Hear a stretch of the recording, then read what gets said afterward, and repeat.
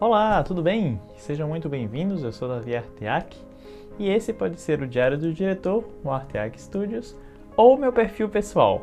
Bom, por que, que estou falando isso? Eu vim aqui para avisar para vocês que eu vou destrinchar a partir de agora meus três projetos principais. E esse é um vídeo que vai ser circulado nos três veículos. Então, para os que ainda estão perdidos por aí, eu vou explicar.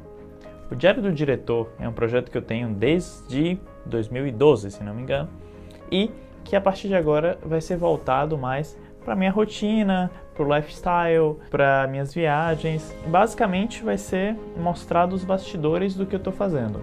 O conteúdo técnico que antes tinha nele, eu vou passar ele para uma didática com uma metodologia um pouco mais cuidadosa e vou colocar ele no Arteac Studios, que é minha página profissional e também meu portfólio. A partir dali, eu vou começar a falar sobre muitas coisas relacionadas a cinema, audiovisual, fotografia, edição, tudo que envolve a minha profissão. O Diário do Diretor vai ser para vocês acompanharem os bastidores, o que, que eu estou fazendo, as viagens, muitas dicas de viagens.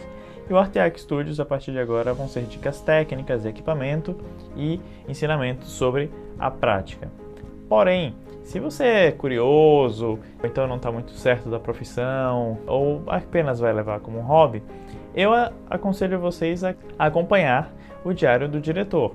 O Arteac Studios vai ser para realmente para quem quer entrar nessa área, para quem tem interesse, porque nós temos um grupo no Telegram, que já tem algumas pessoas, e a gente está trocando muita ideia em relação a fazer exercícios, a fazer atividades, a desafios, então é um grupo bastante participativo e que a partir de agora a gente vai partir para a prática mesmo. Então, se você não tem esse, esse interesse em realmente fazer e produzir, eu aconselho você a seguir, continuar seguindo ou seguir o Diário do Diretor.